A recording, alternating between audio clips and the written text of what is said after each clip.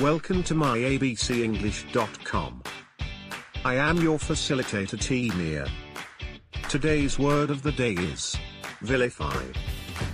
Its synonyms are disparage, defame, abuse. The meaning of the word, speak or write about in an abusively disparaging manner. Example sentence with the word usage. He has been vilified in the press. Don't forget to like and subscribe to the channel to learn a new word every day.